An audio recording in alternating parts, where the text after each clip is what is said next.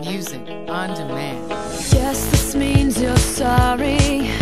You're standing at my door. Yes, this means you take